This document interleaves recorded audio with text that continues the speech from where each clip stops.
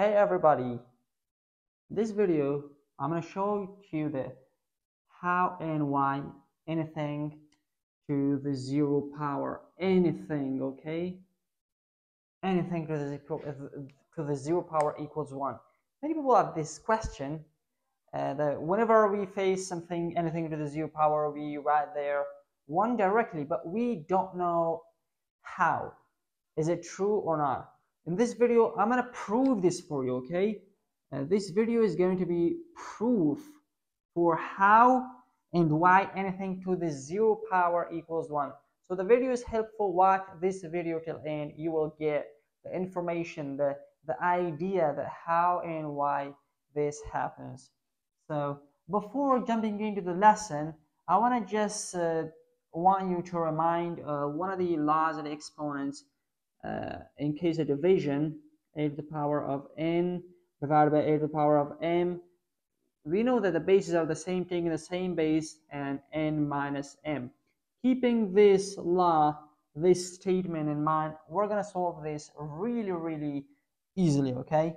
So I'm going to just start uh, with, with an example. If I tell you 2 divided by 2 equals what? Of course, you'll probably tell me 1. If I tell you uh, 100 divided by 100 equals what? You will tell me equals 1.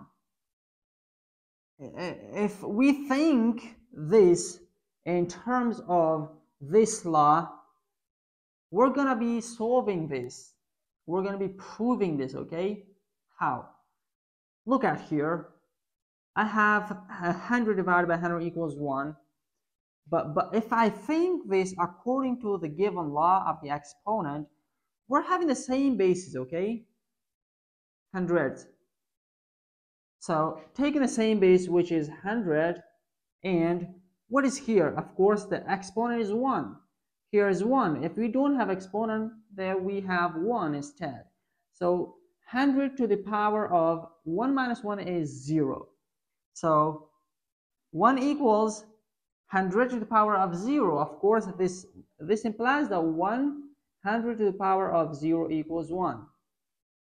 Of course, this is true for all the given values, x to the power of 0, 100 to the power of 0, 1000 to the power of 0, 1 lakh to the power of 0. Anything to the power of 0 is going to give us 1. This was the easy proof for how and why anything to, to the power of 0 equals 1. So I hope you understand what I'm talking about.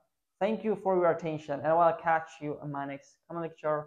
Take care of yourself. I will see you. Bye bye.